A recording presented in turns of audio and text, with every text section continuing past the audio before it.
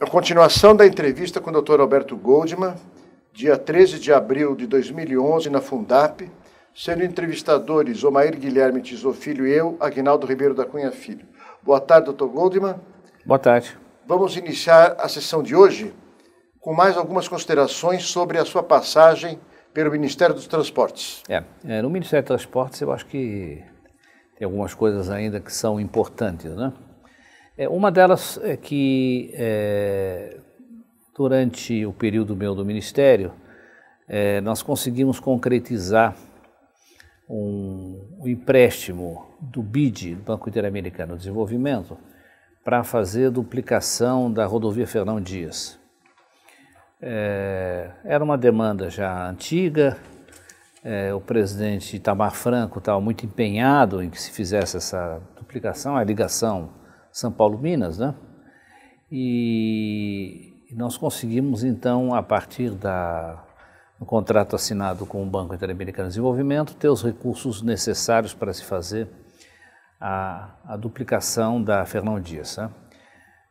Aí iniciou-se o processo de licitação, e, e, foi feito esse processo de licitação São Paulo e no Rio, participação dos governos estaduais, recurso também dos governos estaduais dos dois estados, e a obra então começou a ter andamento em seguida. É, eu não tive muita facilidade em relação a São Paulo naquele momento, porque eu tive que mandar suspender o edital que havia sido colocado, porque o edital continha certas, certas exigências que quase dava para você concluir qual seria a empresa que iria fazer, uh, iria ganhar concorrência. Então, para que tivesse uma, uma licitação limpa, de fato, eu fui obrigado a, a cancelar, mudar termos do edital. É, ao mesmo tempo, também eu consegui no BID, e aí foi uma ação já iniciada por mim, mas era uma demanda também muito antiga, que era a duplicação da BR-116, São Paulo-Curitiba.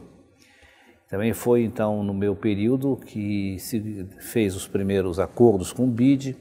Eu estive várias vezes em Washington, conversando lá no BID e no BIRD, para obter os recursos necessários para que a gente pudesse iniciar a licitação. A licitação já foi feita e o contrato assinado já no governo seguinte, o governo Fernando Henrique, que assinou o contrato da duplicação é, e ela foi feita ainda que nós tenhamos ainda não terminada, porque tem um trecho com um problema na chamada Serra dos Cafezais, que é um problema relativo ao meio ambiente que nunca se conseguiu superar, até esse, até esse momento não se conseguiu superar.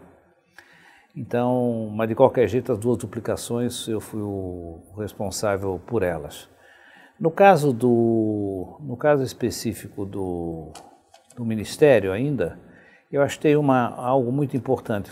O Ministério tinha em suas mãos, e tem ainda em suas mãos, Companhia Brasileira de Trens Urbanos, a CBTU. Essa CBTU, ela, ela tem, tinha as redes em vários estados, entre eles São Paulo e Rio. Quem lembra daquele período da, da rede de trens em São Paulo e no Rio de Janeiro, lembra que aquilo lá era um, é uma verdadeira sucata, né? É, as portas não fechavam, as pessoas andavam em cima do trem, por cima dele, é, havia acidentes aos, aos montes. É, então, a gente precisava resolver uma questão que eu sentia que se ficasse na mão do governo federal não teria solução. Além do que o trens urbanos, são trens urbanos, por que o governo federal tem que operar trens urbanos? Qual a razão? Nenhuma razão para o governo federal. Isso é uma operação que tem que ser feita pelo governo do Estado. Claro, com o apoio do governo federal, apoio financeiro do governo federal, mas não no, não no governo federal operando esses trens. Então, nós montamos uma, um, um, planejamos a transferência dos dois sistemas para o governo de São Paulo e para o governo do Rio. É, e para isso eu consegui um financiamento do BIRD para a modernização de alguns sistemas desse, dos trens e achei que com esse contrato do BIRD eu poderia atrair os próprios governos do estado, dos dois estados, para receber aquilo que na realidade era um presente é, que, eles, que, eles, em tese, não gostariam de, de receber, porque é, são iam onerar os orçamentos estaduais é, sem a certeza de que o governo federal daria algum, algum apoio consistente, né? Mas, de qualquer forma, eu achava que aquilo era absolutamente necessário, que não, nós não íamos resolver o problema nunca do sistema, desses sistemas estaduais sem é, estadualizá-los.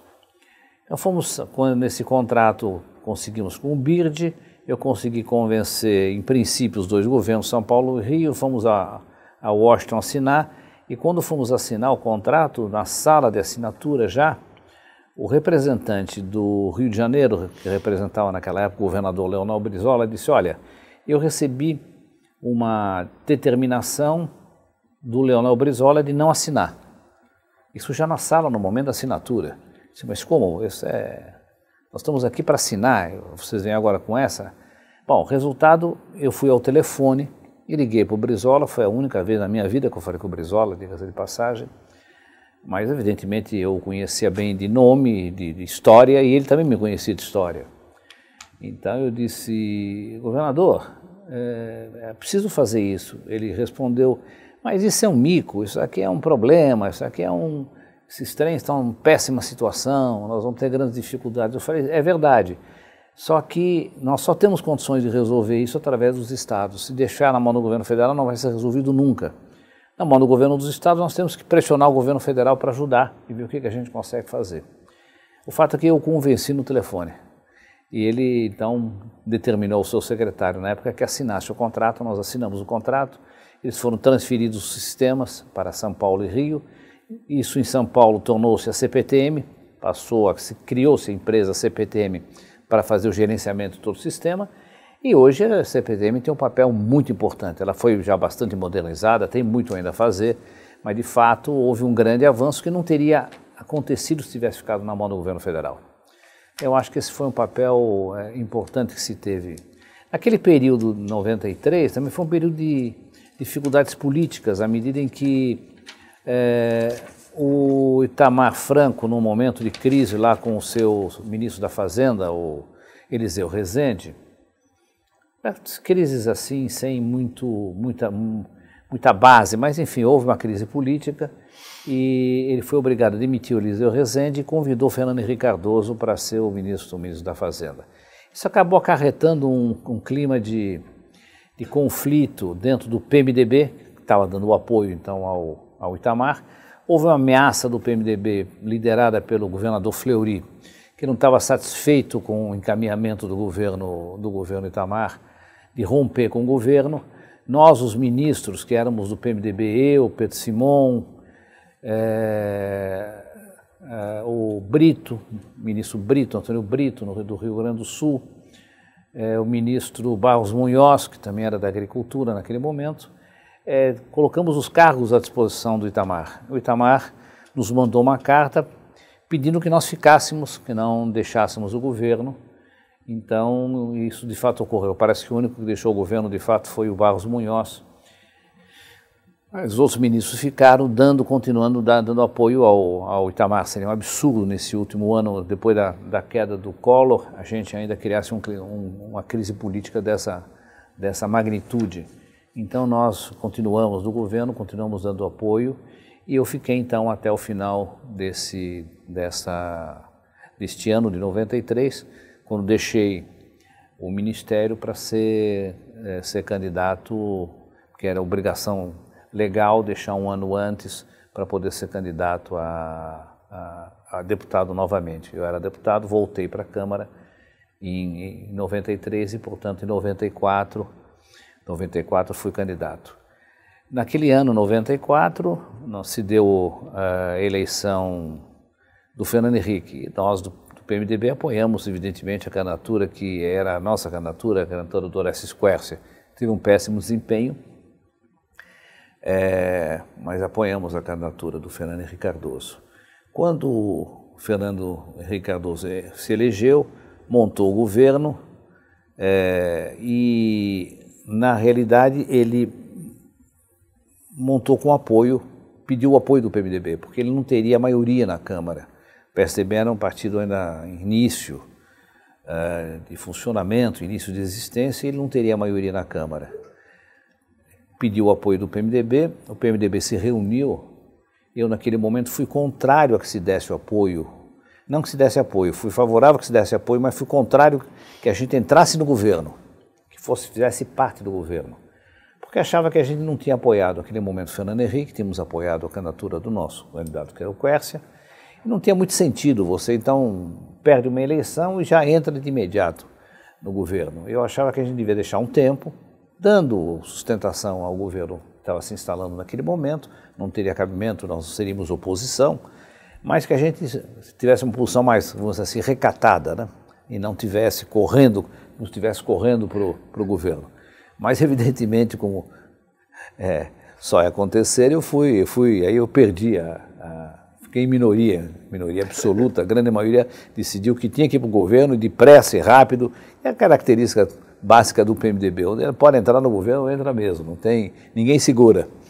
E, então o PMDB foi para o governo. Eu me lembro quando na montagem da, do ministério, eu já tinha, é, é, enfim, é, passado inclusive o conflito todo daquele período com, com o próprio Fleury, é, eu, eu tomei como decisão não permitir que o Fleury fosse é, ministro. Falei, olha, as atitudes, as atitudes do Fleury não, não permitem que eu é, que eu atue no sentido de ele seja ministro. Eu fiz todas as dificuldades para que ele fosse ministro e ele não foi.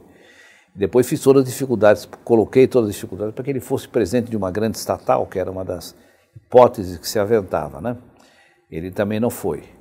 É, mas também é, é, eu também não fui convidado a absolutamente nada no governo, no início do governo Fernando Henrique Cardoso. Ele, aliás, me lembro que quando ele foi visitar o PMDB, agradeceu o apoio que o PMDB tinha uh, dado a ele como decisão do partido, eu me lembro da, que o Sérgio Mota passou por mim e disse, olha, é, não deu, nós até gostaríamos que você fosse o ministro dos transportes, mas não deu, acabamos escolhendo o da Klein, questões internas aí do PMDB, foi melhor que você ficasse de, de fora. Houve muitas mudanças, doutor Goldman, de quando o senhor foi ministro é, para esse período, a, re, a rearticulação política? Não, nem tanto, não, porque o, o, o PMDB estava dando, tava dando apoio ao Itamar Franco e depois o PMDB deu apoio também ao, ao Fernando Henrique Cardoso. Então você não teve grandes mudanças nesse sentido. Quem se manteve sempre numa posição oposicionista, se recusou a apoiar Itamar Franco, depois, evidentemente, não apoiou também Fernando Henrique, foi, evidentemente, o PT, né? Aí sim, é, teve.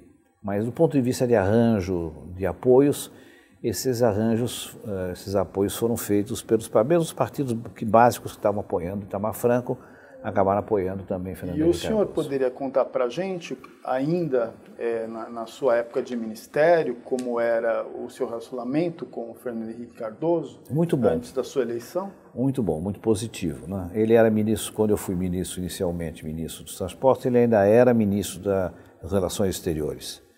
Nós estávamos sentados ao lado, ao lado na mesa, na reunião, nas reuniões, do ministério. Coincidentemente, a minha cadeira ficava ao lado dele. A gente comentava, como comentamos uma vez. Eu me lembro que o Itamar Franco convocou todo o ministério para ouvir é, o bispo, se não me engano, era o bispo de Volta Redonda, não estou lembrado exatamente quem, para falar sobre a pobreza no país. E nos deu uma aula sobre pobreza no país. Eu ainda comentei com o Fernando Henrique, assim de ladinho, né? Olha, Fernando, se, se nós não soubéssemos do grau de pobreza que existe no país, a pobreza que existe, as dificuldades que o país tem, é, nós não, não, poderíamos estar sentados nessa cadeira de ministro.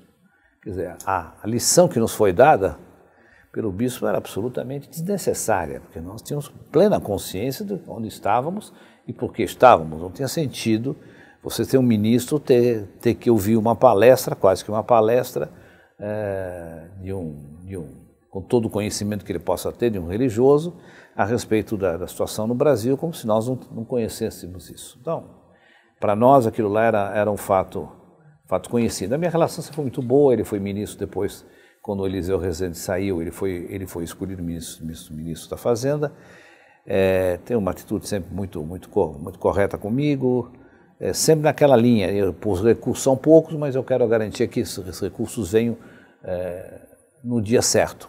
Não pode faltar, não pode falhar.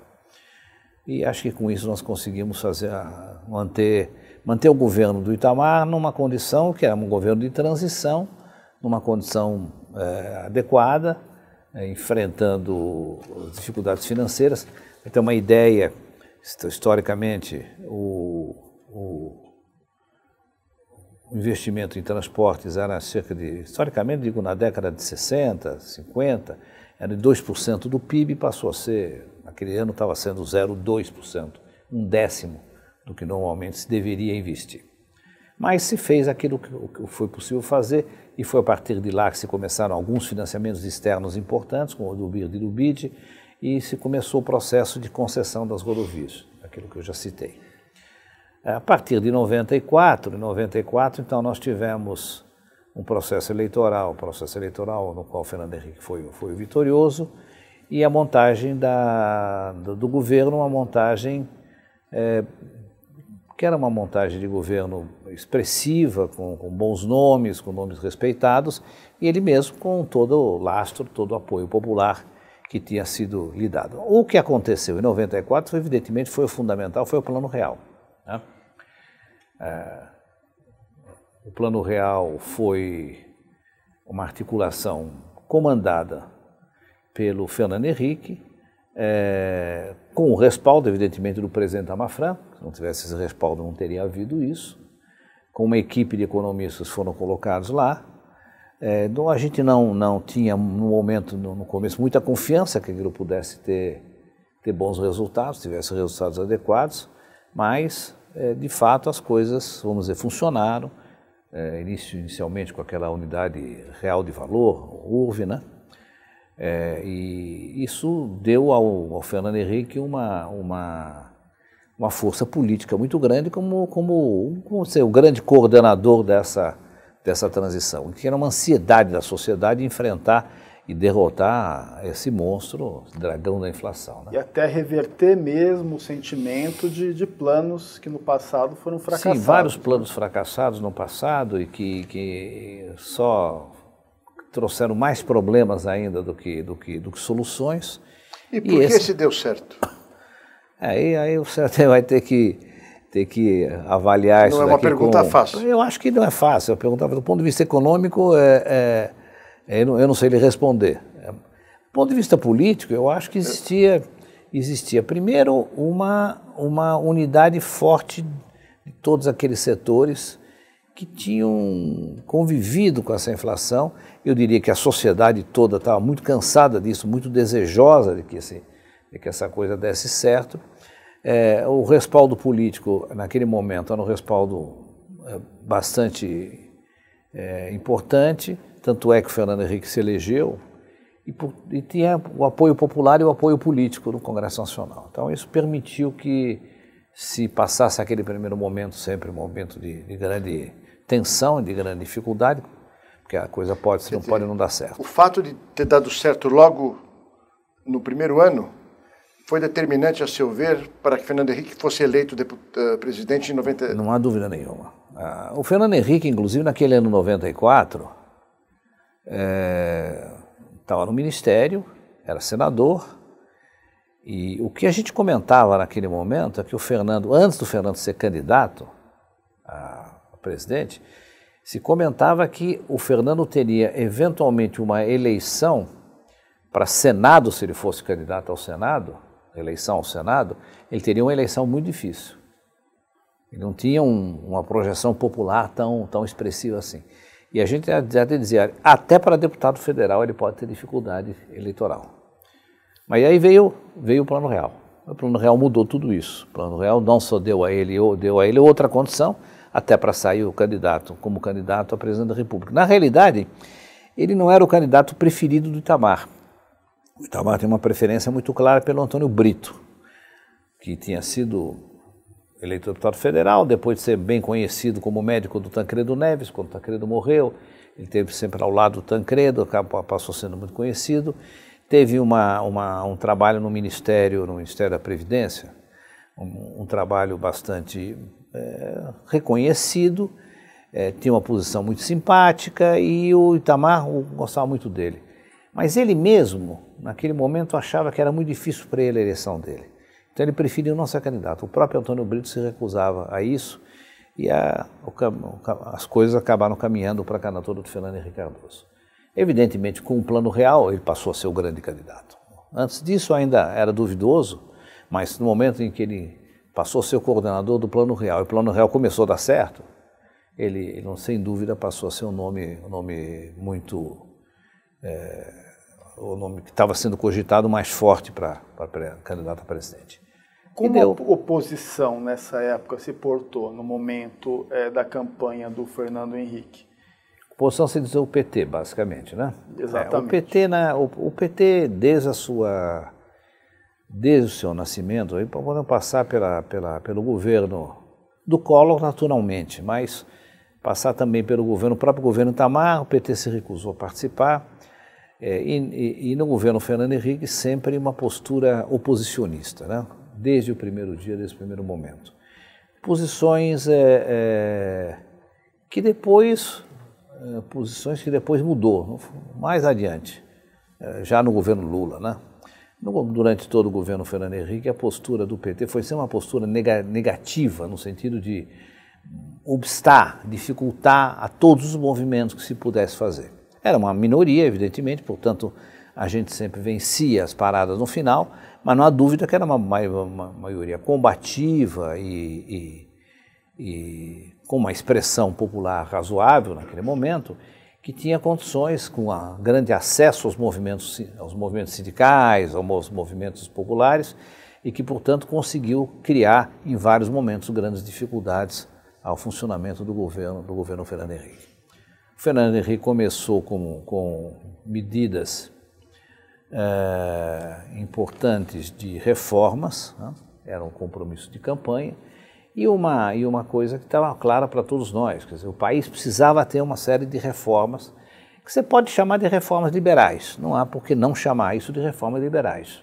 Porque o país era um país fechado, um país em que criava restrições aos capitais estrangeiros, criava dificuldades aos capitais nacionais, é, com uma visão ainda muito fortemente nacionalista, do velho nacionalismo da década de 50, é, e se sentia que era preciso romper, romper isso. Que o país, para poder se desenvolver, ele tinha que romper com esse, com esse, com esse passado. Esse passado teve fatores, teve momentos importantes para a criação de grandes empresas. Eu me lembro de uma, de uma, de uma ida minha a Carajás, é, onde fui visitar Vale do Rio Doce, em qual os gerentes lá da, da, da, que estavam lá conversando comigo me diziam que é, a empresa teria condições excepcionais de se desenvolver se não fosse amarrada por todas as, as, as condições que uma estatal tinha. Estatal é auditoria externa, auditoria interna, é, é, luta política, indicações políticas para diretorias, aquilo lá diz assim, aquilo emperra a Vale do Rio Doce. A Vale do Rio Doce pode ser uma das maiores empresas do mundo, né? tem um, uma imensa potencialidade. Isso conversa com gerentes, não era com área política de lá, não. Gerentes, gente, gente do dia a dia, trabalhadores que estavam gerenciando naquela região de Carajás, e eles me dizendo: nós só vamos conseguir fazer uma grande empresa para valer mesmo no dia que a gente deixar de ser uma empresa estatal, romper esses, esses limites que a empresa estatal nos, nos impõe. Inclusive lei de licitação, isso, tudo isso, que é. Isso era uma quebra, desculpa uh, interromper, isso era uma quebra da, da plataforma nacionalista?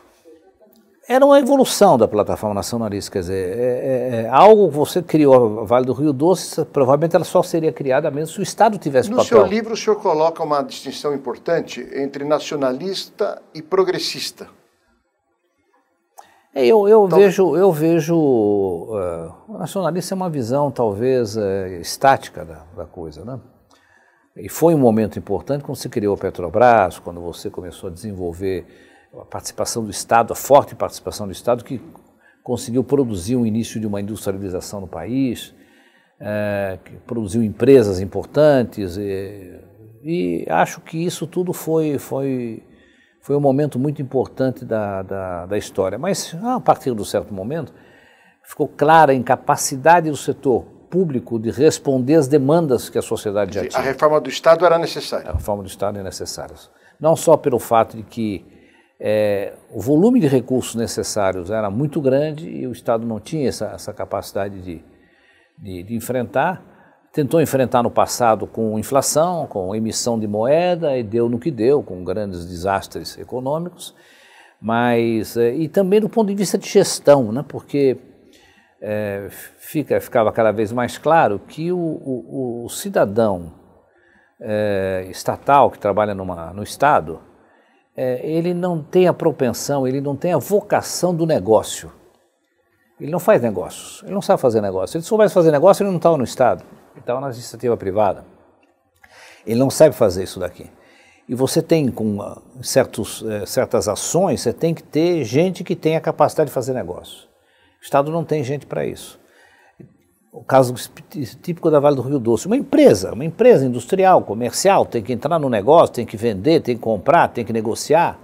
Isso não dá para fazer, o Estado não pode fazer. Cada cidadão do Estado, para comprar um, um, uma, um, uma agulha, é obrigado a fazer uma licitação, tem uma lei, tem Tribunal de Contas, tem auditorias e tal. Então, é, ele não tem nenhuma flexibilidade. O pessoal do Vale do Rio, Mas, da Vale do Rio Doce dizia isso. Só uma, uma, colocação que eu acho que seria interessante o senhor desenvolver essa tese. Quer dizer, o Estado forte sempre foi uma plataforma da esquerda, da ideologia de esquerda, na qual o senhor militou e sempre foi um expoente.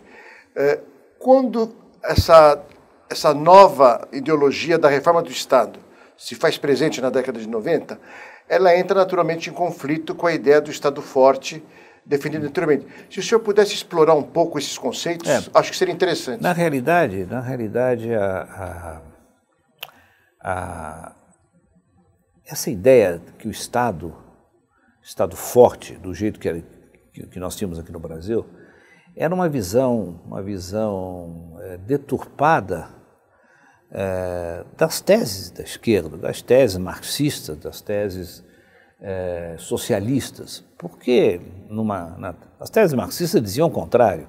Diziam que o Estado era instrumento da burguesia, era um instrumento de dominação da burguesia. E, e nós usávamos o Estado como sendo o, o, o, o libertador. Né? E nós trabalhávamos com o Estado, com essa postura nacionalista, como sendo a libertadora. É, por quê? Porque é, havia o conceito, e essa, a Guerra Fria fez muito disso, a, a luta é, cap, socialismo e capitalismo, fez com que nós transformássemos os Estados Unidos num grande monstro, num grande vilão. É. Então tudo era, tudo eram as multinacionais, eram os governos americanos, não que eles não tivessem o seu papel, evidentemente, em muitos momentos negativos, é, momentos contra o país, os interesses eles defendiam os interesses deles. Mas nós superestimávamos esse aspecto e dávamos um papel muito importante às posições nacionalistas. É, os meus, meus discursos da época, a leitura dos meus discursos mostram isso, que eu tinha uma posição muito nacionalista, quando isso contrariava as, as próprias teses que eu defendia, teóricas, é, é, é no sentido de que a gente lia nos nossos textos, né? Que dizia exatamente que o Estado, o Estado era o Estado burguês e que ele estava a, a, serviço do, do, do, dos interesses da burguesia e não os interesses do proletariado, das grandes massas. É, mas o fato é que esse, esses conceitos entraram em choque com a evolução das coisas, com a modernização da economia internacional, com a própria globalização que foi se dando porque se era visível que nós não tínhamos capacidade de enfrentar, não tínhamos capitais necessários suficientes para isso, e não tínhamos capacidade de gestão. Né? Isso eu vi então no, na Vale do Rio Doce, falei sobre isso depois na Petrobras, é, acho que tem isso até a validade ainda até hoje, e nós rompemos, começamos a romper naquele momento com, com, com essa visão é, é, autárquica da, do país. Né? O país precisava se abrir, precisava trazer os capitais, privados, e isso começou a se dar de fato é, mais fortemente a partir de 95. O Collor já tinha colocado isso nos seus é. programas de reforma, que acabaram não dando certo porque é, cometeu outros erros e levou a, a, sua, a sua derrubada. É, o governo Itamar passou sem mexer muito nas coisas, mas alguma coisa se fez então, por aí, mas basicamente foi o governo Fernando Henrique Cardoso então, que deu grande queria, impulso. Eu queria avançar um pouco, quer dizer, aí quando se dá uma, vamos dizer assim, uma identidade de, não sei se poderia chamar assim, mas uma identidade de visão do papel do Estado, a mesma identidade por parte do PMDB e do PSDB nessa época? Isso. O que diferencia, então, a partir daí, os dois partidos? É, não sei se eu, eu coloquei bem a questão. O PMDB mas... tinha uma postura mais, daquela postura mais antiga do nacionalismo, mas não, não divergia basicamente, fundamentalmente, de, das concepções um pouco mais liberais. É, acompanhava também isso. O PMDB é um partido é, diferenciado nesse sentido. Ele não é propriamente um partido, né? É, nunca foi uma organização que procura estabelecer quais são os seus programas, seus projetos, suas linhas de ação. É uma coisa quase que uma federação de partidos nos diversos estados, com interesses muito localizados e muito individualizados nos estados, com as lideranças específicas nos estados. É um partido que teve muito enraizamento né, dentro da, da, da história brasileira e ficou com um pouco dessas raízes, né? Ele ficou ainda com um pouco. A sua força ainda vem dessas raízes, da sua participação em todos os municípios, né? Consequência daquela luta do passado contra, contra a ditadura. E o PSDB não se formou, é, quando se formou, não se formou com toda essa raiz. Quando as grandes lideranças do PSDB saíram, levaram as lideranças, mas não ficou, ficou, o corpo ficou.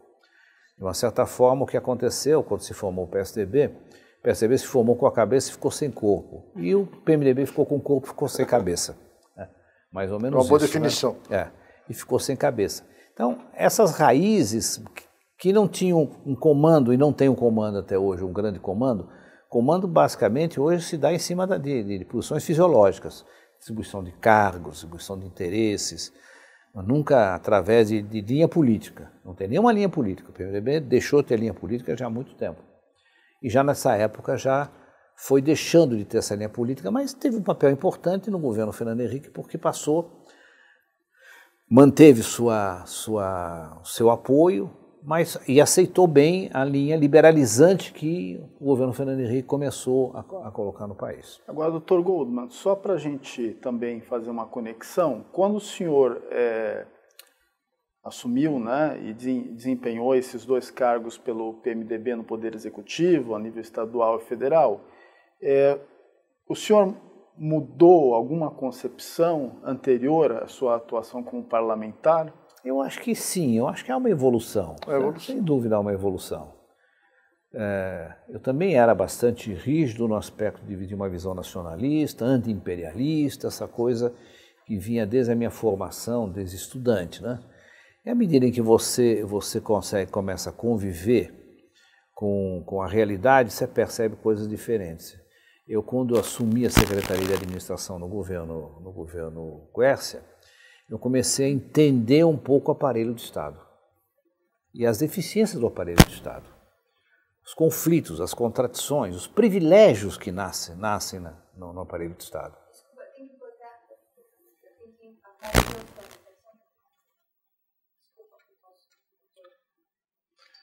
Eu acho que foi importante, muito boa essa definição do PMDB e do PSDB, porque eu acho que se mantém até hoje, né? Até hoje. Foi ótimo. Não é? É uma pena cortar agora também, porque estava. Não está gravando, né? Não. O senhor não acha que o PMDB hoje é o meu? É um antigo, aquele PSD antigo do que era o Partido Conservador voz, Municipalista do Tancredo, do Juscelino. Ele, eu acho que ele é herdeiro um pouco dessas bases, não é, doutor Godo? Talvez. São épocas diferentes, é difícil você. Rose. Obrigado, viu, Rose? Eu, se você pudesse me fazer uma gentileza. O que está faltando fazer aqui? Não, não, teve uma interferência de microfone. De quem? Meu? Não, é aqui no meu. Obrigado. Foi bom aqui.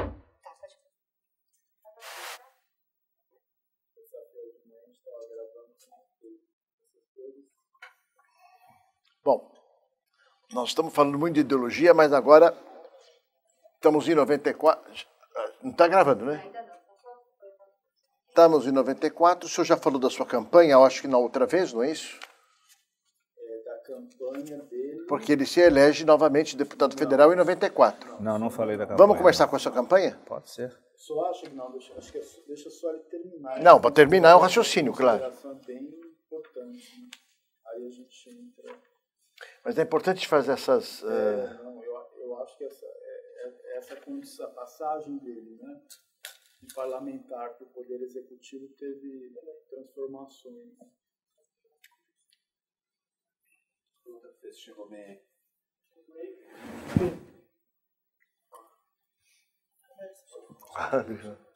Alô, alô, alô, alô, alô. Tudo bem?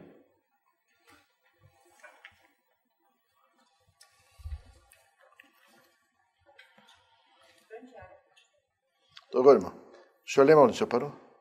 Acho que estava falando sobre a minha senhor... evolução, né? Isso, o senhor falou a partir Secretaria da, da Administração. O que o senhor percebeu Isso. durante Isso. o executivo do governo do Quércia. Na Secretaria da Administração foi um aprendizado muito grande. Já está gravando? Secretaria da Educação, na Secretaria da, da Administração foi um grande aprendizado para mim. Porque lá eu conheci a máquina toda estatal por dentro, via suas deficiências, via suas dificuldades é, vi o jogo de privilégios, de interesse, de corporações atuando. É, aprendi uma coisa que eu não, não imaginava quando estava fora. Ou seja, é, quando você fala as corporações, elas nunca veem o conjunto da, da, da sociedade. Elas não atuam, o setor, o setor público, o servidor público, na grande maioria, não atua como um servidor público, servidor do público. Para ele aquilo é um emprego, normalmente é um emprego. Ele não tem a consciência política de dizer, estou lá para servir. Se eu tenho uma remuneração, tem que ter remuneração, mas estou para servir.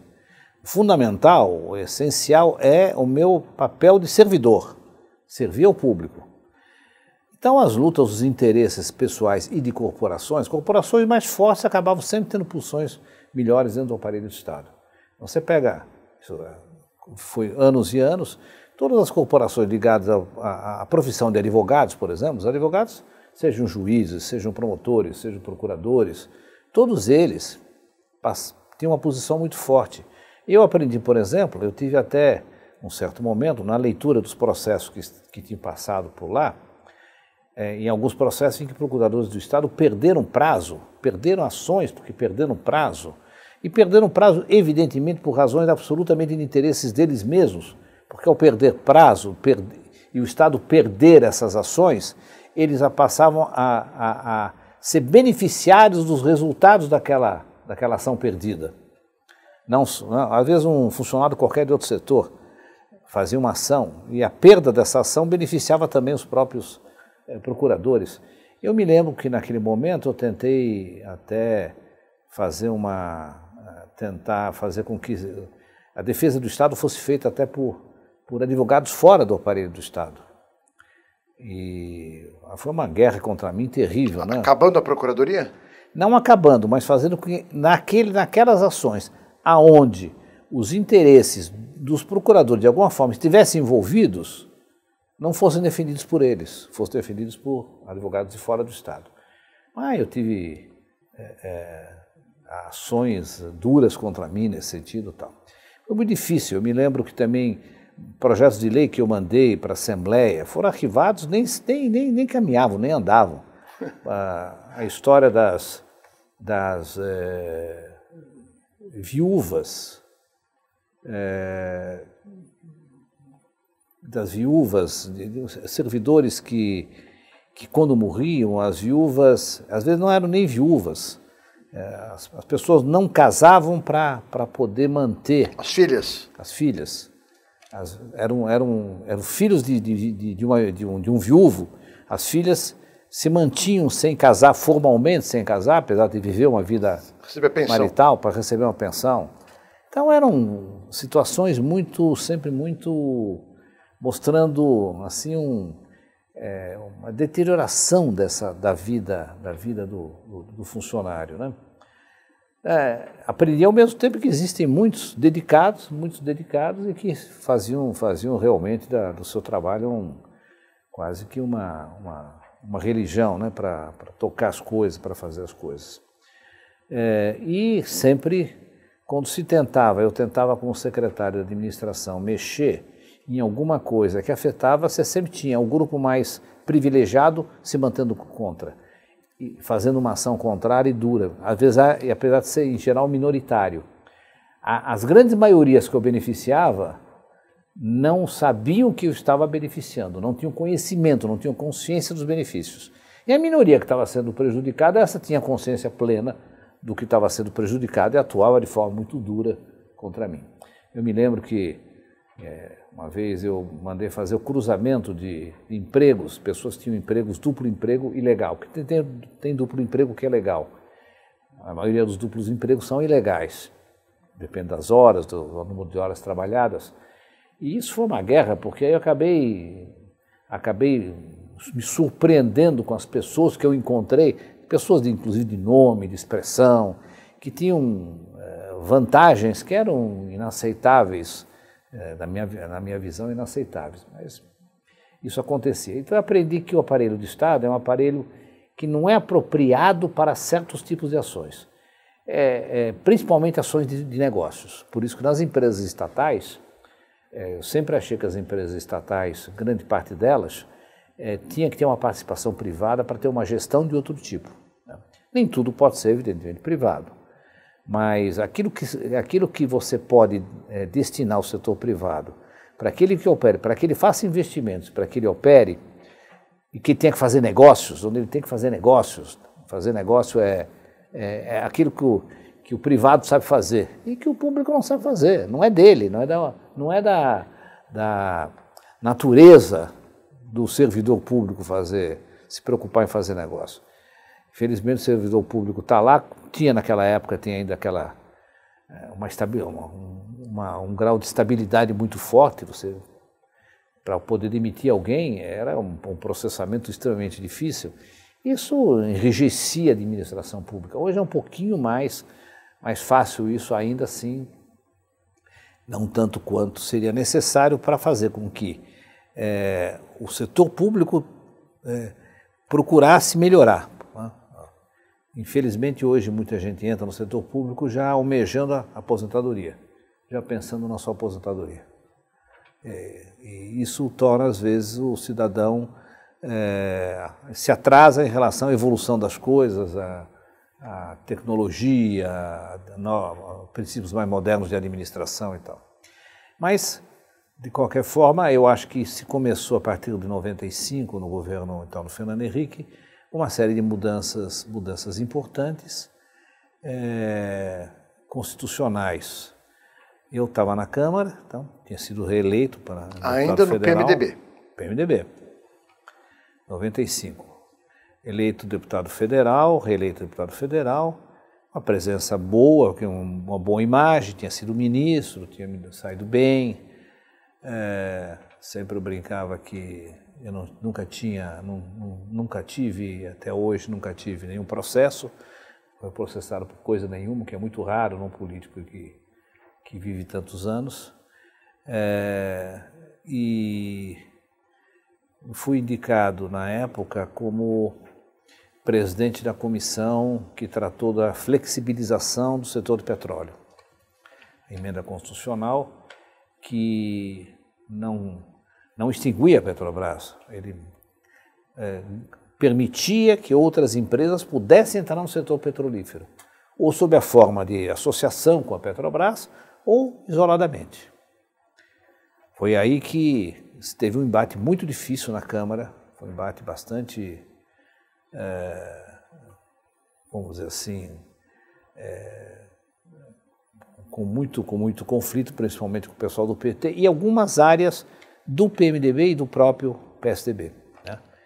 Que, é, que vinham do antigo nacionalismo. Que vem uma pulsão nacionalista. Para se dar um exemplo claro, um, uma pessoa que eu sempre admirei muito, e que sempre foi uma pessoa de, de, de enorme papel na história do Brasil, foi Almino Afonso. Né? O Mino Afonso, então, eu no PMDB, o Mino Afonso no PSDB. Eleito deputado federal no PSDB. E ele, ele fez o seu primeiro pronunciamento é, no momento em que houve o encaminhamento da votação da, da, do parecer da, da comissão que eu presidi. E eu tinha feito um trabalho muito grande com todos, com todas as bancadas, todas as bancadas partidárias e depois com todas as bancadas em cada estado. Em cada estado eu peguei os deputados de cada estado discuti com eles para mostrar as mudanças que a gente estava fazendo a importância das mudanças. Um trabalho muito, muito estafante e contínuo em cima de, dos deputados, ganhando com isso, ganhando a maioria, a maioria da, da, da Câmara. É, eu, eu, em casos, em alguns casos, quando o deputado não vinha a alguma reunião, ia à casa dele. Cheguei à casa dos deputados para explicar para ele o projeto, explicar para Ostral.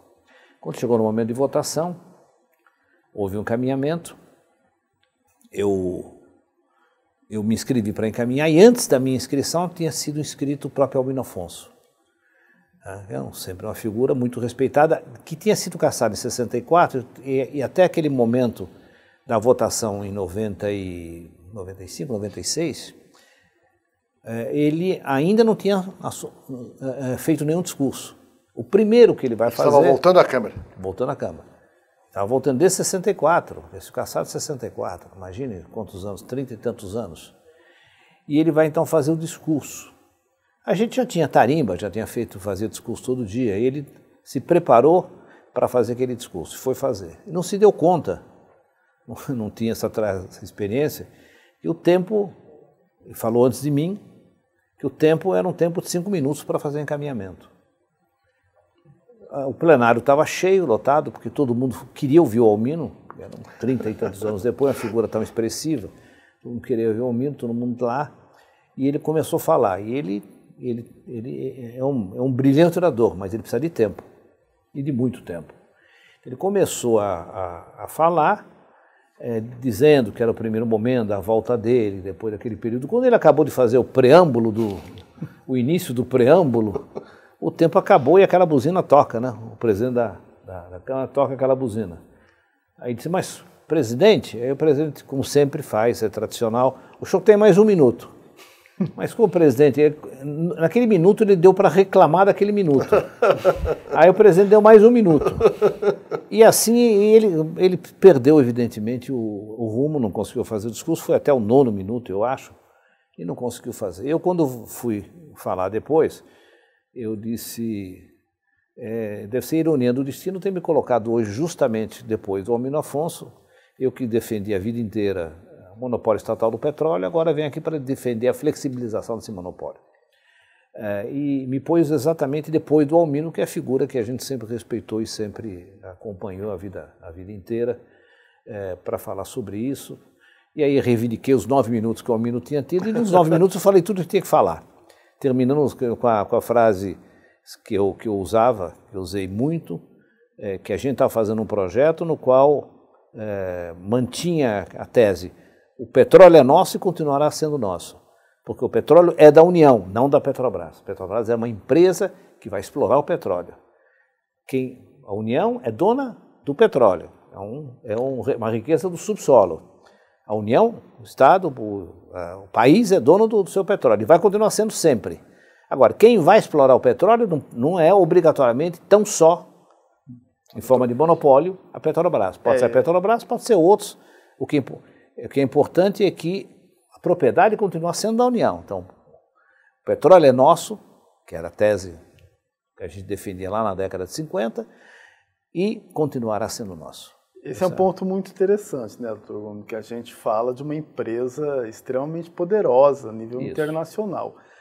É, como é que o senhor sentiu a, a pressão é, né, de, de, sustentar é, essa tese? Ela vinha direto de executivos não, da Petrobras? Não, vinha não, de vários não, não, não. É, naquele momento, os executivos da Petrobras, evidentemente indicados pelo governo Fernando Henrique Cardoso, estavam de acordo com essa posição. Certo. Estavam sabendo que era importante essa abertura era importante até para a própria Petrobras, como eu tinha escrito no artigo de alguns anos antes, publicado no Jornal do Estado de São Paulo, a maioridade da Petrobras. A Petrobras é, já tinha, já era maior de idade e era um filho que você já podia deixar é, no campo da disputa, da, da, da competição nacional, internacional, e que não era preciso você manter para ele o monopólio total Era importante que ele tivesse liberdade até para se movimentar e para mostrar sua, sua capacidade. Isso não tinha nenhum problema, não teve nenhum problema na, na, na vamos dizer assim, na, na, própria empresa, pelo menos na cúpula da empresa não, não se, não teve problema. É, as próprias empresas multinacionais, conversando com a gente, diziam, olha, nosso interesse inicialmente é até nos associarmos com a Petrobras, porque a Petrobras é muito grande, a gente não vai entrar aqui com, com grandes investimentos, entrar com pequeno para poder nos associarmos com, com a Petrobras e depois a gente pode se desenvolver. É, então, aprovamos o projeto, o projeto de lei foi aprovado na Câmara, depois foi para o Senado, é, e, e, e, aí se deu ah, essa, essa mudança. Mudamos também algumas emendas constitucionais, fizemos algumas emendas constitucionais permitindo a participação mais do capital estrangeiro, aquele negócio da empresa nacional, do conceito de empresa estrangeira, empresa, empresa nacional é aquela que tem registro no país. Então, o fato de ser um capital internacional, capital que vem de algum lugar, mas desde que ela se registre no país e seja, tem uma sede aqui, atue aqui sob as leis brasileiras, ela é uma empresa nacional. Ou seja, o fato concreto é que o capital é, não tem cor, né? Ah, não tem carimbo, não tem cor, não existe. Se ela está tá se adaptando, está se sujeitando aqui à, realidade nacional, às leis nacionais, é uma indústria nacional. Mas a, a, essa, esse conceito é um conceito que permitiu que muitos capitais, que estavam muito mais restritos, começassem a, a, participar mais do desenvolvimento, desenvolvimento nacional. É, essas coisas se deram de uma forma muito. Uh, caminhou de forma muito boa. É, teve um, um momento interessante na quando o ministro Odacir Klein ele, ele deixou de deixou o ministério em função de um acidente que teve. O filho dele estava com o filho, atropelou uma pessoa, não socorreu a pessoa e acabou tendo uma dificuldade e saiu da, do ministério. Eu fui para o Fernando Henrique me chamou, e até me disse, olha, Coldman, eu gostaria que você fosse o ministro dos transportes. Aí eu falei, você gostaria por quê? O presidente é você. Né? O presidente é você. Aí ele me disse, é, é, mas você é do PMDB, você precisa administrar o PMDB. Eu falei, se você acha que administrar o PMDB é eu manter aquele bando que tem lá na, na, no Porto de Santos, e aquele bando que tem no DNR, você me desculpe, mas eu, quando se eu chegar ao ministério, eu vou demitir todos eles. E te digo uma coisa, eu não sou solução para você, eu sou problema. Se você me colocar no ministério, eu não vou ser solução para você, vou ser problema. Aí ele mudou de assunto e falou: realmente, realmente não é, não é solução. Eu deixei de ser ministro, não quis, falei claramente, praticamente, disse claramente, exatamente por isso. Tivemos também a lei do petróleo, porque o que nós tínhamos votado era uma emenda constitucional que permitia a, a flexibilização desse setor de petróleo, com a participação do setor privado. Mas é, a lei 2004 ela continuava existindo, então ela tinha que ser mudada porque a Constituição já permitia a mudança. Então a lei foi mudada, a lei 2004 também presidia a comissão que que fez o parecer sobre sobre a lei 2004. Ela foi mais fácil porque a emenda constitucional era muito mais difícil do que a própria lei. A lei é mais fácil, porque a lei precisa de maioria simples. A emenda constitucional precisa de maioria de três quintos né, do, do, do Senado e da Câmara. Então, foi mais fácil na, na, na, questão da lei do petróleo. Em todo caso, nas votações que nós tínhamos, a reação, algumas reações internas eram muito emocionais, é muito mais internamente dentro da Câmara, aquela, aqueles conceitos antigos eu me lembro muito bem, não sai da memória, é, quando eu estava encaminhando a votação da matéria, é, na época um deputado do PCdoB, Haroldo Lima, como ele se, ele se, ele gritava dentro do plenário, nos corredores, ele, no plenário, no corredor do plenário, ele é, esbravejava, é, dizendo que a gente estava entregando o petróleo ao, aos, ao imperialismo norte-americano, coisa desse tipo, né? É, e para ironia do destino, né? Porque naquela, na, no momento da, da, lei que nós mudamos a lei de 2004, nós criamos também a Agência Nacional do Petróleo, que então passava a ter o conceito de que a agência, como, como o petróleo é da União, é do governo, da União, do Estado, é, a Agência Nacional do Petróleo estabelece os regulamentos pelo qual o petróleo será explorado. Esse petróleo pode ser explorado pela Petrobras, pelas estatais ou por empresas privadas, mas o controle, a regulação do setor feita pela Agência Nacional do Petróleo. Foi aprovada essa lei, na lei, nessa mudança que nós fizemos. Anos depois, quando o governo Lula assumiu o poder, junto com o PCdoB, o PCdoB fazia parte, o deputado Haroldo Lima, é, ex-deputado então, vi, acabou virando o presidente da Agência Nacional do Petróleo. Aquele, é, que mostrava que as posições que eles tinham tido no passado eram infantis, no mínimo, ingênuos, infantis, não tinham sentido, né? Bom, mas em 95 é, teve um momento muito dramático para mim e para o PMDB. É, nós tivemos uma eleição da direção nacional, mudança da direção nacional. E eu disputei, não queria disputar, acabou, acabei sendo um nome escolhido por gente que não queria uma, uma candidatura que estava posta já há meses, que era do Pai de Andrade. Pai de Andrade é um deputado do Ceará, historicamente vinculado ao PMDB, vinculado às teses nacionalistas e tal, mas ele, ele era um era o candidato à presença do partido. E eu acabei sendo impelido pelos por vários que se contrapunham a isso, achando que não era o nome adequado, a ser candidato à presidência nacional, candidato a presidente nacional do do, do PMDB. É, é, e aí foi uma coisa, uma coisa bastante difícil, né, porque eu não tinha um apoio em São Paulo. Do Quércia, não tinha o apoio do Quércia nem dos seus seguidores. O Quércia talvez temia naquele momento que eu, sendo o presidente nacional do partido, eu teria um papel muito importante em São Paulo e poderia, digamos assim, colocar em risco a sua, a sua hegemonia em São Paulo. Eu já tinha muita expressão política e, e um raciocínio lógico de um político que não quer perder o seu, seu espaço. Então Quercia disse, não, eu tenho compromisso com o pai de Andrade, vou apoiar tal, e não quis me apoiar mesmo, apesar das, de uma relação histórica que nós tínhamos. E levou praticamente todos os votos de São Paulo, no cabresto, né, para votar contra mim na, na, na, Acho que um dos únicos votos, por ironia do destino, que eu tive, que eu, sei, que eu tive foi do próprio Fleury, que era um, que era um dos, dos convencionais.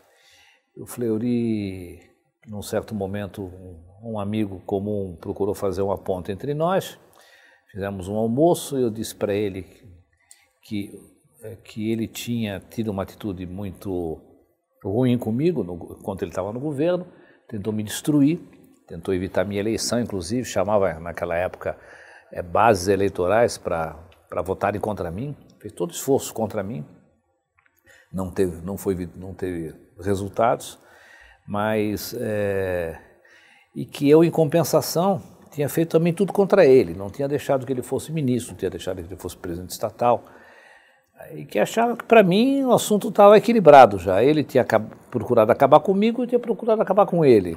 Estávamos kits. Aí ele ria muito e tal, eu também, e ele acabou votando em mim. Né? Mas foi um dos únicos votos de São Paulo, porque todos os votos de São Paulo o Quercia levou para o País de Andrade. E eu tive um apoio muito forte em, no Rio Grande do Sul, Paraná, é, em alguns estados do Nordeste. O meu candidato na minha chapa de vice era o senador da Paraíba, tinha os votos da Paraíba. Enfim, eu acabei tendo uma disputa interessante, porque é, contra mim, além do Quercia, ficaram o Sarney, decididamente, o Jader Barbalho, decididamente, e eu pensava que naquele momento eu ia ter o apoio do Michel Temer, que era o líder da bancada, que nós tínhamos eleito o líder da bancada, nós de São Paulo eleito, eu um deles, como líder da bancada. Eu pensei que ia ter, mas tenho absoluta convicção hoje que não tive esse apoio. E contra mim também o Sarney, o Sarney contra mim Jader Barbalho, e o que é interessante que o resultado eleitoral, o voto é feito individualmente por todos os membros do diretório. O diretório comum, a, a disputa foi na executiva. É, um dos eleitores, era um, que era um eleitor meu, é, foi votar ele era, é, antes de votar, ele foi, a mesa chamou, a secretaria da mesa, por engano, tinha que chamá-lo como substituto do presidente do diretório do Espírito Santo. Mas chamou um suplente do diretório, que era justamente um eleitor do pai de Andrade. Esse eleitor votou. E votou erradamente, mas não tinha mais como, como refazer o erro, porque era uma caixinha, uma caixa onde você põe os votos em papel. Não tinha como retirar mais o. Era um erro. Falei, bom, Vamos rezar todos para não dar uma diferença de um voto. E deu. Nesse momento foi é, a primeira vez que, que o senhor e Orestes Quercia seguiam, seguiram por caminhos diferentes? Talvez tenha sido sim. Sim, talvez tenha sido a primeira vez. É, e um voto. Um voto. Um voto que foi dado. Votou um que não podia votar. Aquele que podia votar, que devia votar, era eleitor meu. E não podia impugnar pelo fato de ter tido um erro? Bom, aí é, a, a discussão começou. Então, tinha dois meses de discussão. Era advogado para cá, advogado para lá. Era, enfim, foi um, um, conflito brutal. No fim, eu cheguei à conclusão que o conflito ia ser é, muito desgastante e eu acabei topando um acordo com o pai de Andrade. O pai de Andrade ficou na presidência, eu aceitei, falei, não, eu não quero cargo nenhum, eu vou, fico, fico como vogal. Tá? mas coloquei, colocamos a nossa chapa, é, colocamos o vice-presidente, o secretário-geral, o tesoureiro, vários cargos e fizemos uma composição. Para surpresa minha, aí, aí pacificou. Para surpresa minha, alguns dias depois veio o, o, o pai de Andrade e me disse e me disse, olha, Goldman, eu queria te dizer o seguinte, esse negócio de presença do partido não tenho muito interesse não, na verdade, depois de ter ganho tudo daquele jeito. O que eu quero é ser presidente da Câmara. Eu quero disputar a presença na Câmara. Mas, pai, você acabou de ganhar uma presença do partido, com toda aquela disputa tão difícil que nós tivemos, agora você quer ser presidente da Câmara? O presidente naquele momento era Luiz Eduardo Magalhães. Aí, não, eu quero ser presidente da Câmara, o que eu quero, meu anseio é esse. Eu achei uma coisa tão, tão é, irônica e tão fora de eixo. Eu saí da conversa com ele, fui conversar com o Luiz Eduardo Magalhães. Eu contei ao Luiz Eduardo, com quem tinha uma boa relação, o que tinha acontecido. O Luiz Eduardo me disse, aí eu bem que falei para o Michel Temer, que Michel Temer ia ser um dos candidatos à presidência da Câmara. E eu bem que falei para o Michel Temer, não vota no pai de Andrade, não vai porque ele vai te trair amanhã. Deu isso. Quem, me, quem me delatou o voto do Michel Temer foi o Luiz Eduardo Magalhães. É, sem querer. Eu falei, falei para o Michel, não, não vai dar certo isso. Você está votando no, no, no, pai de Andrade e o pai de Andrade vai te trair. Né? E Michel Temer é paulista, né? É, e não deu outra, não deu outra. Michel Temer, teoricamente, era meu, meu apoiador. Não, não foi, né? No fato, não foi. É, então você veja que aí eu perdi por um voto, tudo bem, montamos a, chapa e continuamos a vida, a vida normal. Isso depois repercutiu também em, em 96, no ano seguinte, porque em 96, no ano seguinte, nós tínhamos. É, é, 96, não, 2002, estou em. 95 para 96. Isso. Essa eleição foi em 95. Não, não, não. Estou falando, nós estamos falando agora, nós estamos um pouco perdidos aqui na, na, nas datas.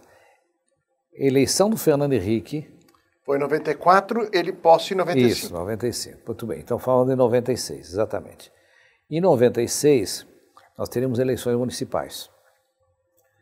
E eu, num certo momento, achei que ele podia ser candidato a prefeito em São Paulo, pelo PMDB.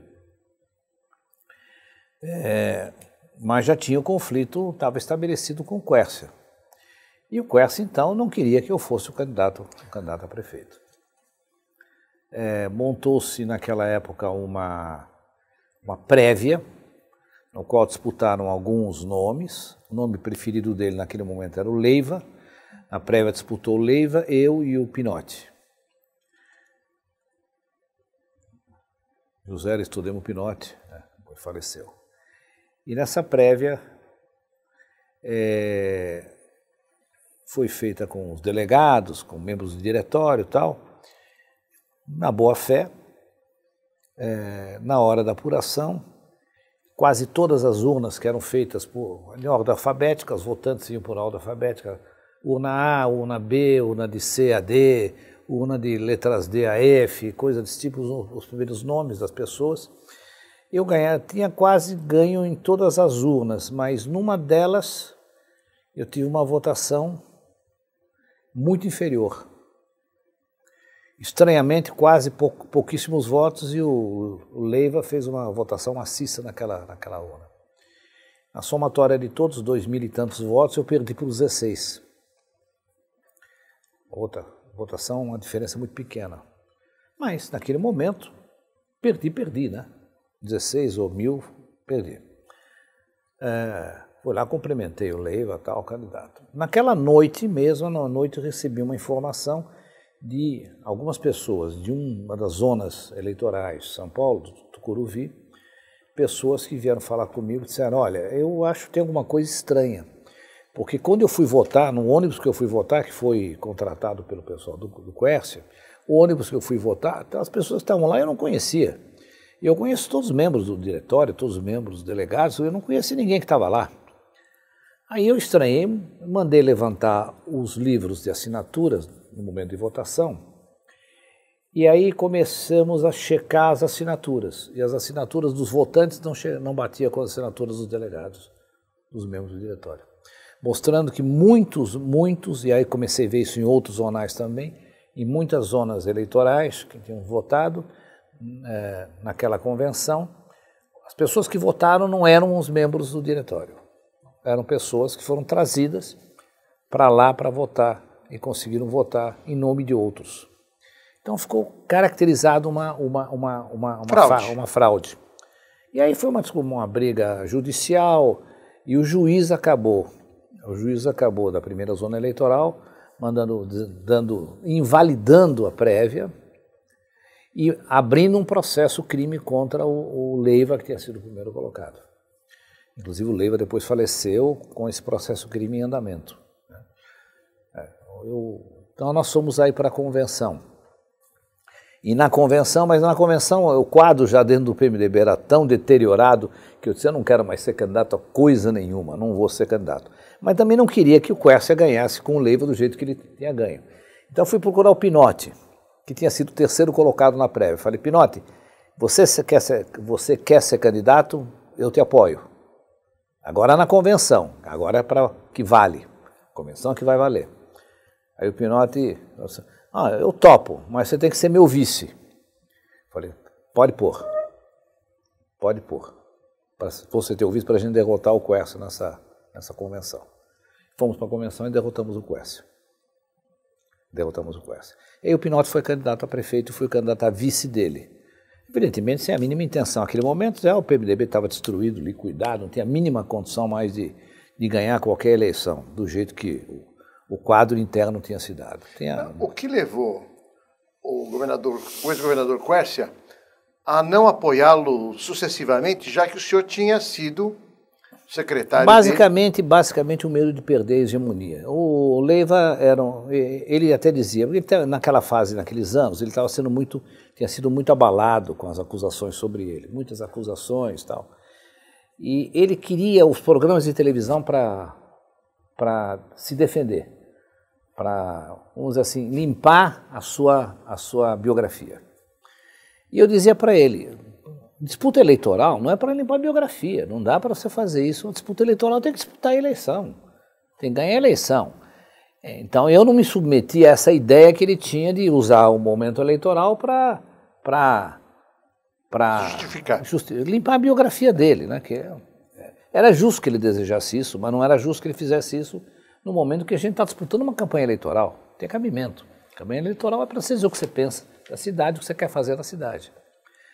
Então ele se contrapôs a mim, porque o Leiva era, um, o Leiva era muito dócil a ele, fazia exatamente tudo o que ele queria. Eu sempre tive uma relação boa com ele, mas sempre tive minha independência, minha autonomia e, e dizia, fazia o que achava que tinha que fazer e pensava o que tinha que pensar. O que achava que tinha que pensar, não o que ele pensava. Então, é, isso criou entre nós um, um, um, distanciamento, aquele foi um distanciamento muito forte, foi, foi em 95. Eu voltei em, em 95 para ter, para, praticamente voltei a ter alguma relação política com ele na eleição para prefeito de 2008, quando ele apoiou a prefeito, prefeito Kassab, em 2008.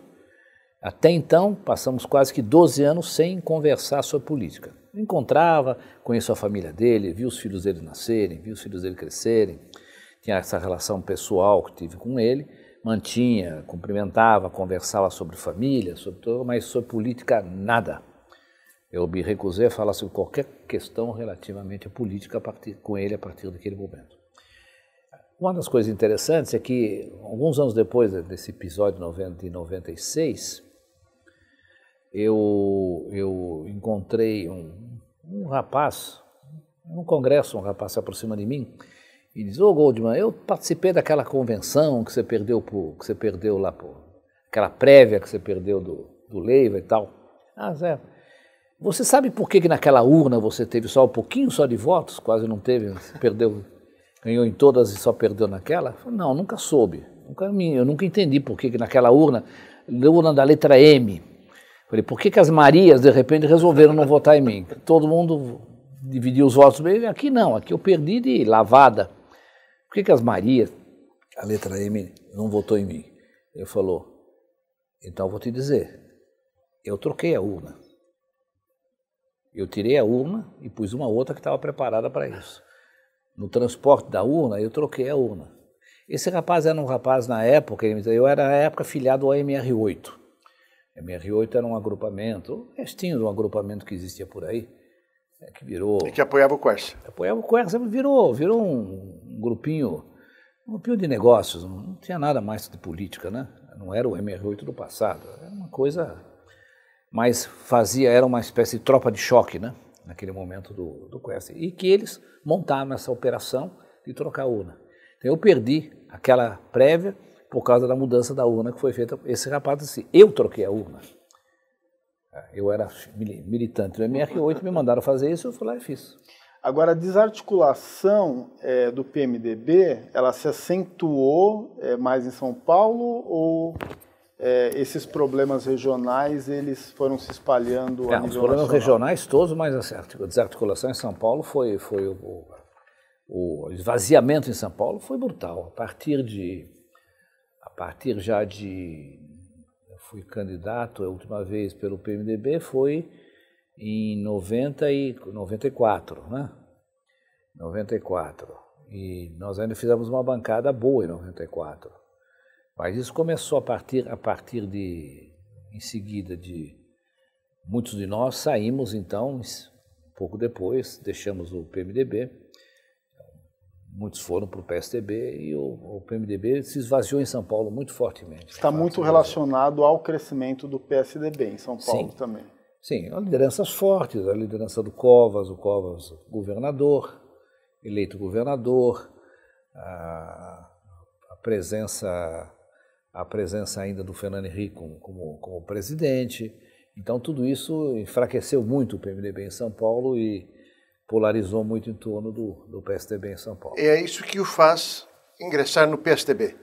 Quando é. se deu esse fato? Aí, em 90 e 96, então, é, terminada essa, essa disputa, nós fomos para as eleições e, evidentemente, eu vice do Pinotti, tivemos uma votação inexpressiva.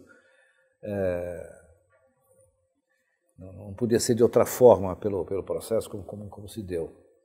Eu, inclusive, devo confessar aqui que nessa votação, o Serra era um dos candidatos, candidato do PSDB. E eu tive muita objeção à forma pela qual o Pinotti se conduziu na, no processo eleitoral.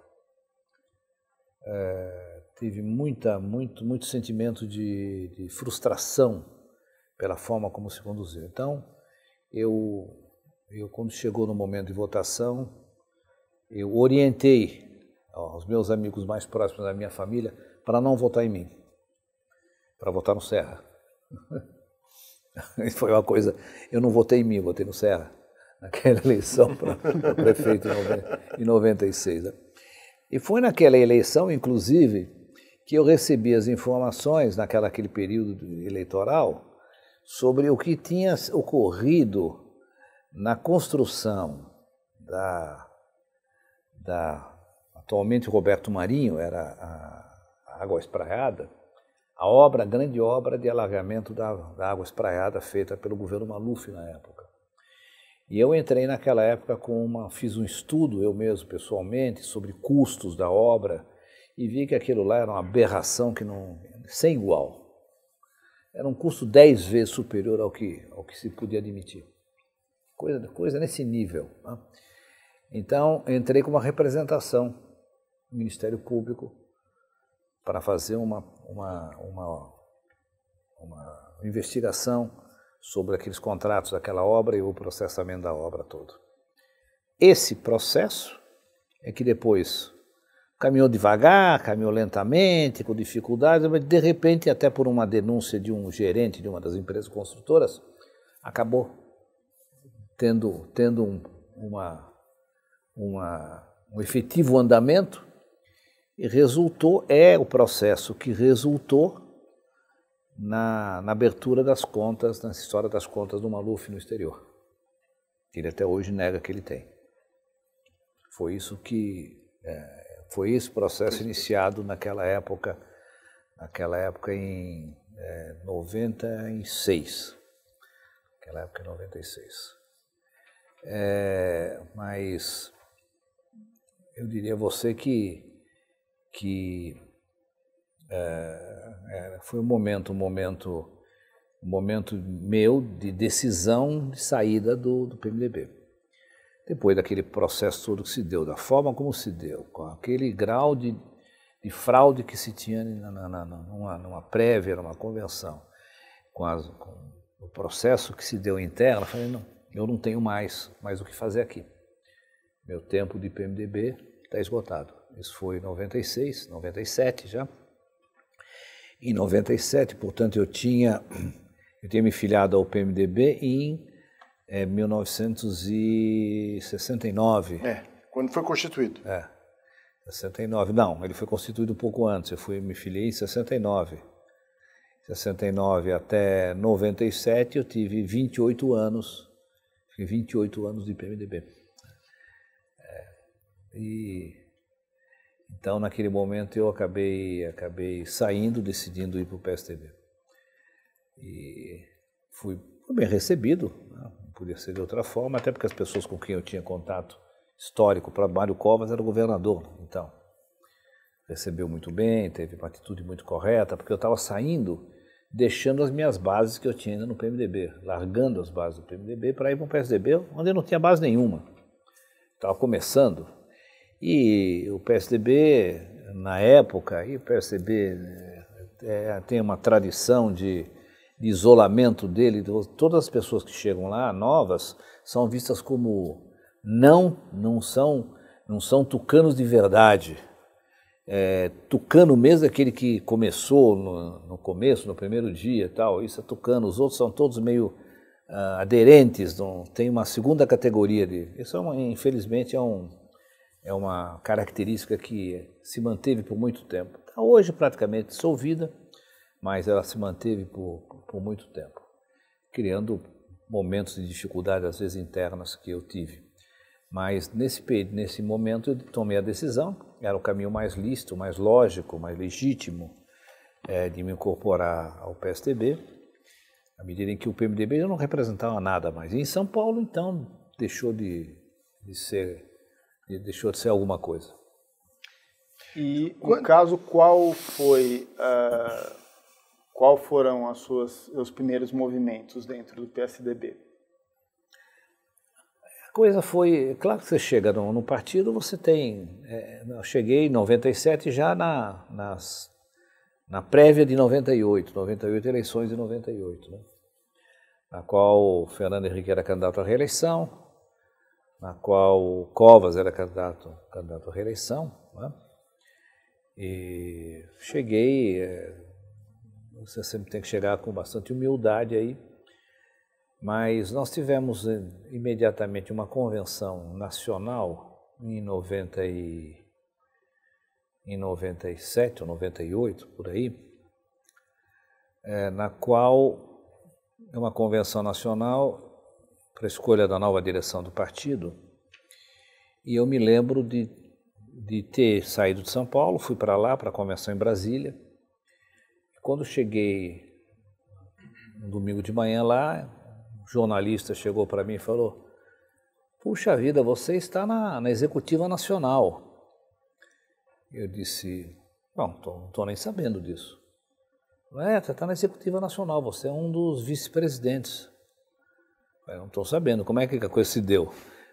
Bom, aí fiquei sabendo que no dia anterior tinha tido uma reunião das lideranças tal, e aí por, vamos dizer, sugestão do Mário Covas e do Fernando Henrique, eu fui colocado na, na vice-presidência. Sem nunca ter... Nacional. Né? Nacional. Era uma segunda, se não me engano, a segunda vice-presidência. E eles até me contaram depois que a intenção deles era que eu fosse o secretário-geral porque eles me conheciam como secretário-geral em São Paulo, como eu tinha sido do MDB. Conheciam da minha atuação. Eles queriam que eu fosse secretário-geral nacional, mas já tinha um acordo político feito com a Câmara, com a bancada da Câmara, que o Márcio Fortes do Rio de Janeiro seria o secretário-geral. E o Márcio Fortes então, foi secretário-geral e eu, eu fui vice-presidente.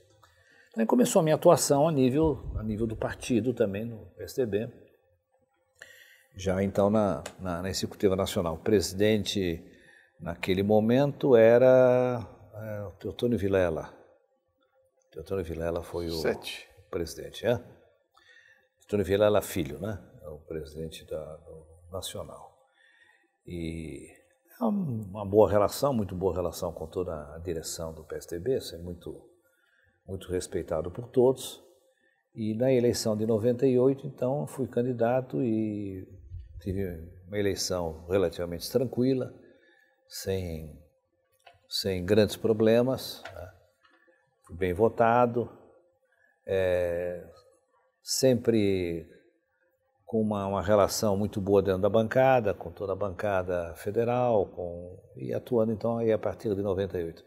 É, antes disso, é preciso citar um momento que para mim foi, eu passei por cima, sem citar, que em 96, na Câmara, eu fui indicado para ser o relator da Lei Geral de Telecomunicações.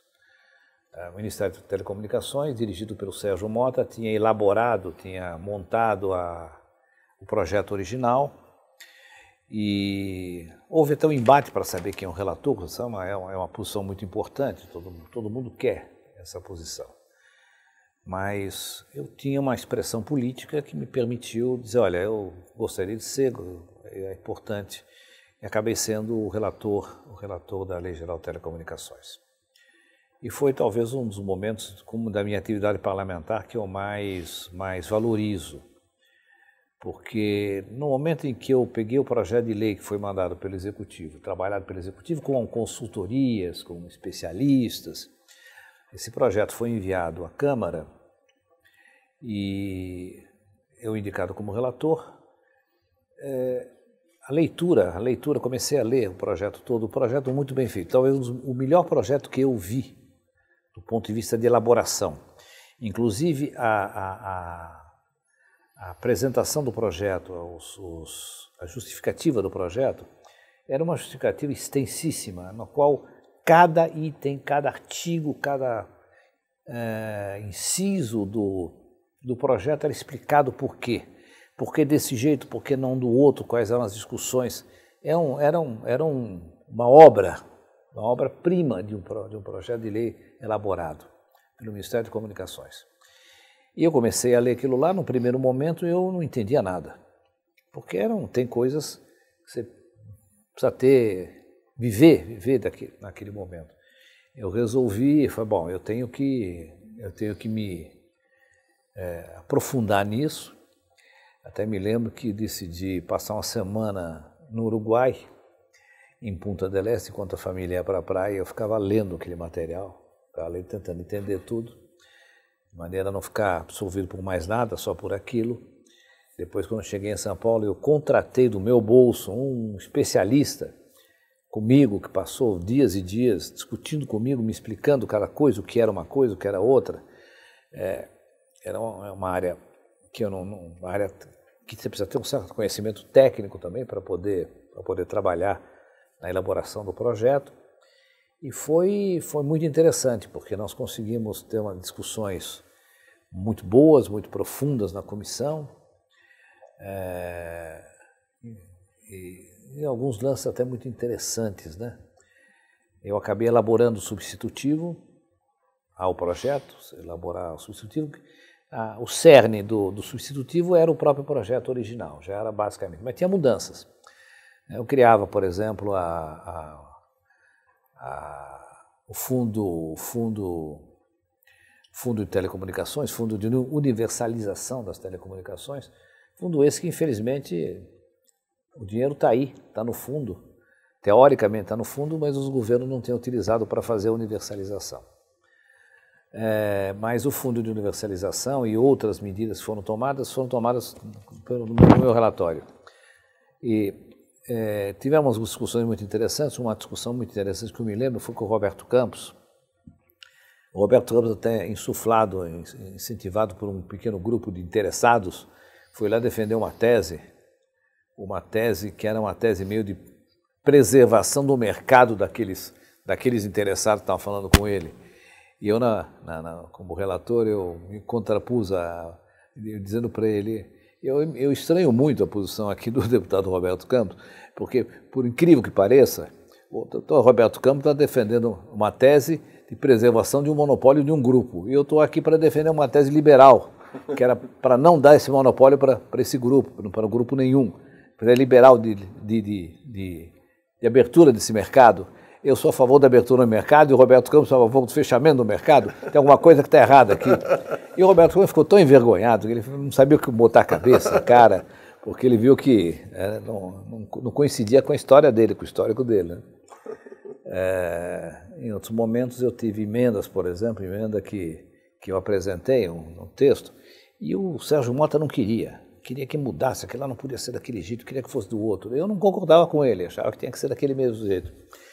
Aí, aí ele orientou na época o líder do governo, que estava na reunião, que era o Arnaldo Madeira, que é meu amigo, companheiro, para colocar, para rejeitar aquela, aquela mudança que eu tinha feito. E o Arnaldo Madeira falou pela rejeição, fui lá, falei pela favor, explicando por que eu tinha feito aquilo lá. Aí o Arnaldo Madeira depois me contou que ligou para o Sérgio Mota, falei, eu, ligando para o Sérgio Mota, falei, Sérgio, é bom retirar essa nossa proposta porque nós vamos ser derrotados. E ele retirou e foi. Então não teve votação, foi, foi aquilo que eu, que eu tinha proposto. Aquele projeto de lei, aquela, aquele substitutivo que eu apresentei, foi aprovado no plenário na íntegra, sem nenhuma mudança, nenhuma emenda, sem nenhum toque, sem nenhum retoque. Esse mesmo projeto foi depois para o Senado, eu fui ao Senado explicar aos senadores, ele foi aprovado no Senado sem nenhuma emenda, sem nenhum retoque. Isso daqui foi para o presidente da República, que o sancionou sem nenhum retoque. Então, a Lei Geral de Telecomunicações, que está em vigor hoje, é ipsis literis, exatamente sem nenhuma mudança, o substitutivo que eu produzi na Câmara.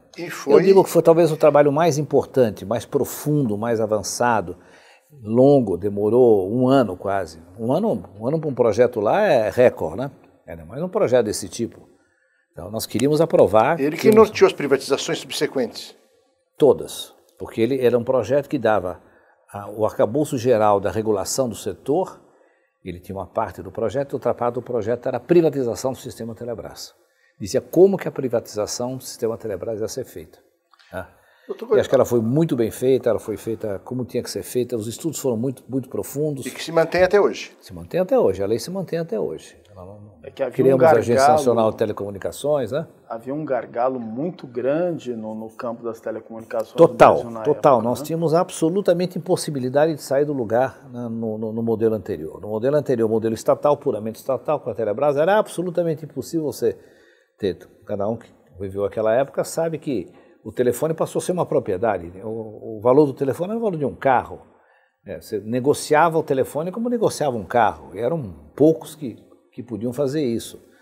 É... Inclusive do ponto de vista social era muito complicado. Não, né? ninguém né? tinha. Dizer, era muito... As camadas de então, poder você... aquisitivo mais nós baixo. Nós estabelecemos, né? ao, ao, criar o sistema, estabelecemos obrigatoriedade de universalização, com, estabelecendo orelhões, por exemplo, com distâncias máximas de 300 metros de qualquer núcleo, núcleo habitacional, de qualquer núcleo de pessoas vivendo.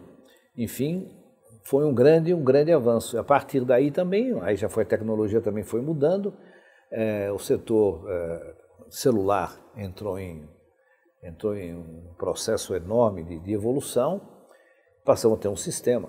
É, diria que, eu diria que teriam, se a Anatel tivesse, como foi no começo, a Anatel constituída no começo, os primeiros membros da Anatel foram indicados, não teve nenhuma indicação política, nenhuma influência política. Se tive, tinha alguém que tinha, teria o poder naquele momento de fazer indicação política, era eu que tinha feito o projeto, tinha atuado no projeto, não tive nenhuma interferência, ninguém teve interferência nenhuma. A indicação foi feita pelo Ministério buscando as melhores figuras. Foram realmente as melhores figuras da, da, da do Ministério, te, conheciam tecnologicamente a matéria, conheciam é, o sistema que foram para a agência. Foi o melhor período da, da Anatel. Agora, também houve resistências na época dentro do sistema Telebrás? Houve sim, o sistema Telebrás sim, mas mas é, é, aquelas coisas corporativas não, não se sustentavam, né? porque o sistema Telebrás não tinha a mínima condição de responder às demandas que a sociedade tinha, mínima condição. É, hoje, naquela época, para você ter um telefone, você comprava ações da telefone, da companhia da Telebrás, ações da Telebrás, e com as ações da Telebrás, você teoricamente eles faziam os investimentos e um dia você ia receber o telefone. Deve para anos e anos. E um dia não... que nem se imaginaria quando. É, né? não se imaginaria quando e muitas vezes não, não se teve nunca, né? Eu mesmo tinha muitas ações da Telebrás que depois eu acabei vendendo, pessoalmente vendendo essas ações da Telebrás. Então a, a, a, a evolução do sistema de telefonia se deu basicamente por essas mudanças legais que foram feitas. Talvez tenha sido uma coisa, a coisa mais importante, a coisa mais importante do, do, do processo de de transformação que estava se dando lá. É, claro que muita coisa, muita coisa deveria acontecer mais ainda, muitas, muitas mudanças poderiam ter sido feitas, mas chegamos em 98, é, passamos o ano 96, foram as eleições municipais, é, 97 se continuaram as mudanças, aí teve crises políticas no país, crises econômicas, né? O governo Fernando Henrique passou por uma crise econômica naquele período, é, crises econômicas pesadas que deram problemas de ordem econômica e deram um processo de desgaste da sua figura também, né? É, o câmbio, o câmbio era mantido, o câmbio é, praticamente fixo, né? Não, não, era um câmbio móvel. É, houve com as crises internacionais o, o, o dólar estourou teve que agir com, com rigor, com medidas monetárias, aumento de taxas de juros e tal, e isso deu, deu um desgaste muito grande. Apesar disso, em 98, 98 Fernando Henrique foi reeleito. Né? Foi reeleito. Ele, na, na, realidade, os efeitos negativos políticos se deram posteriormente à eleição de 98. Ainda em 98 se sustentou lá o câmbio de forma artificial né? e uh, 99 não teve mais condições de segurar. Então, até 98, isso ajudou muito a reeleição, a manutenção do sistema ajudou muito a reeleição, a reeleição do Fernando Henrique. Também, também a reforma das telecomunicações também foi significativa. Foi 96, 97. Significativa para essa reeleição, é, né? Aí a imagem dele era a imagem do homem moderno, da mudança, das mudanças, modernização do Estado, modernização da sociedade, outra visão do Estado, um Estado que era mais um Estado regulador, forte, mas regulador e não, e não operador, e não negociador, não fazia. É, é, nós tivemos também naquele período, eu preciso ter certeza de não estar errando as datas aqui, nós tivemos a crise do setor financeiro, a crise do, do PROER, que foi criado o PROER, é, em que é, com as medidas do PROER, se conseguiu, na realidade, evitar uma quebra de todo o sistema, todo o sistema bancário, sistema financeiro sistema bancário. Naquela época, muito acusada pelo, pela oposição, né? mas, na realidade, absolutamente necessária, que resultou num sistema saudável do sistema financeiro, que é basicamente o que tem de saudável hoje o sistema financeiro por causa das medidas que foram tomadas na época, nesse período. Aí chegamos a 98, na eleição de 98. Vou dar uma parada. Quer parar aqui?